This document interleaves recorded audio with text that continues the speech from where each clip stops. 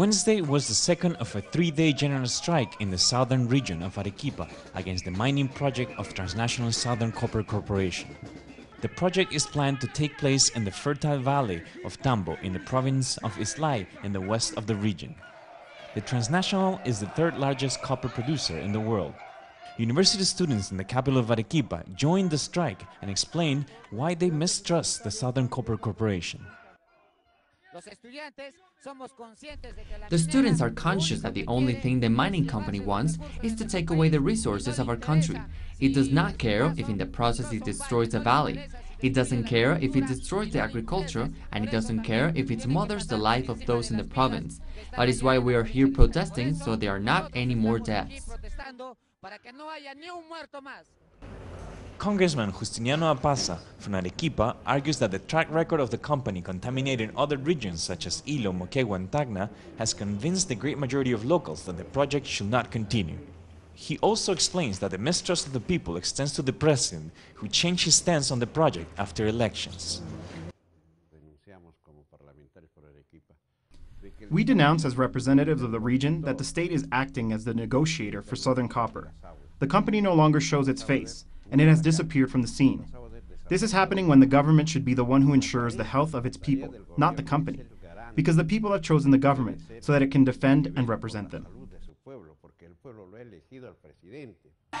Violent confrontations are likely to continue in the coming days, with the government set on pushing the project forward and most local media blaming the executive for not being able to convince the people of Arequipa.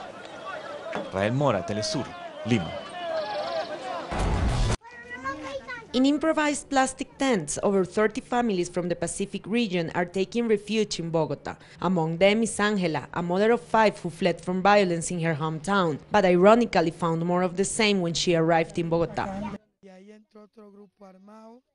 Another armed group showed up saying that they didn't want to see any black people there, and the next black person they see, they would kill. So we also had to flee that place. The recently approved National Development Plan has opened up the possibility that state-owned lands get assigned for big-scale projects instead of being restituted to the victims of conflicts such as Angela. I feel discriminated against, neglected, and I beg for compassion and help as we are not here because we want to be. We are here because they have been removing us from our lands. While land distribution has been at the very core of Colombia's armed conflict, the latest development plan has been widely criticized as far as it will deepen land concentration in favor of big private players. When many families attempted to return, their land was already being used for big-scale projects. That shows that this war is against civilian populations. It aims to displace us from our territories, and to take our land, and to give it to the multinationals.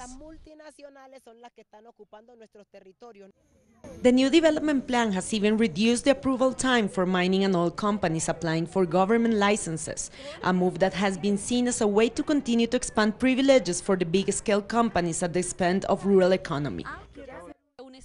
A state that gives away our country should make the Colombian people stand up with dignity and demand deep reforms. We must protest against this development plan and the looting of Colombia by the multinationals.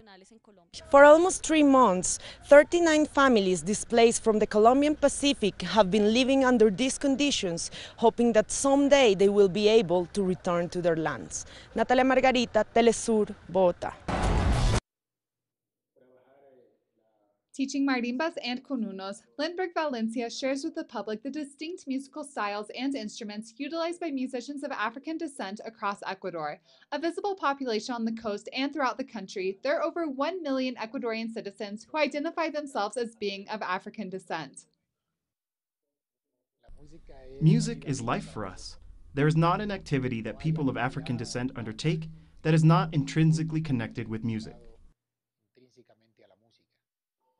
Valencia said that in recent years, there have been positive strides to further the rights of Afro-Ecuadorians. The 2008 Constitution of Montecristi declared Ecuador a plurinational and multicultural state, giving greater protection to Afro-Ecuadorian, indigenous, and Montubio populations. Shortly thereafter, Presidential Decree 60 was issued, which recognizes the historical injustices and racism present in society against Afro-Ecuadorians and how this has affected their access to basic services.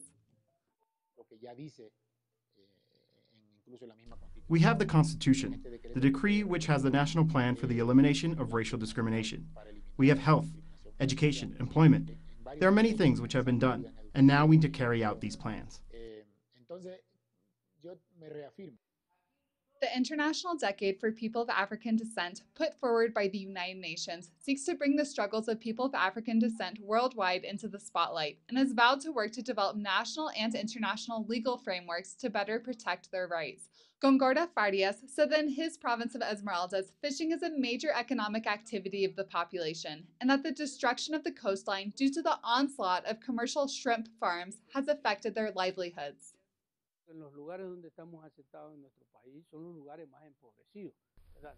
The places where we live all over the country are the poorest, historically speaking. Nature has been destroyed, and this has forced many of us to migrate to other cities. So today there is a recognition of this, and we hope that they take advantage of this decade and implement policies that benefit our people. To meet the objectives of the International Decade, the headquarters of the Union of South American Nations has developed a permanent working group, which serves as a space for reflection to keep the concerns of this population at the forefront, as well as create awareness of the vast cultural and economic contributions of Afro Ecuadorians to society. Liz Sherfius, Telesur, Ecuador. The Honduran Libre Party has called for a demonstration in front of the National Congress after the local media reported that the Social Security Institute had written checks to the ruling National Party for more than $100 million. This comes on top of last year a commission proved that under former President Porfirio Lobo, the institute was invested by its directors for more than $350 million. We show our solidarity to men and women that are looking for health in many places. But we also want to say to the National Party and to President Juan Orlando don't be fooled. The people will not go down without a fight, and we are ready to go out to the streets. We're ready to face them.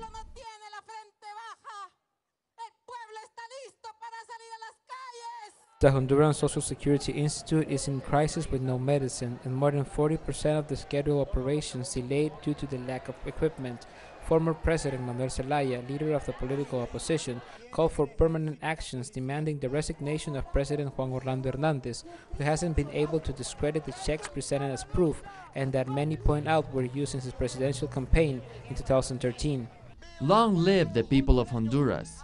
Let's go demonstrate in every city in Honduras until we take down this government that is unworthy and doesn't represent the people of Honduras. Several protests are expected for this week, and the pressure against the government will increase with more proof starting to appear that links the National Party with one of the most scandalous corruption cases in the history of Honduras. Gerardo Torres, Telesur, Central America. In Buenos Aires, the 5th International Political Film Festival is underway, with the participation of filmmakers from 34 countries and around 130 movies. The celebration gathers film producers, directors, actors and activists, trying to spread the word about several subjects. We understand that we are involved in politics in our day-to-day life. We labeled it as political, but it is cinema, social cinema, fiction cinema, human cinema, we board important subjects as we talk about history, about human trafficking, about environment, the mining industry, stories of activism, historical leaders. Many people attending the festival point out that even sometimes in a tacit way, all films are political. I come here pretty interested because this festival has consolidated.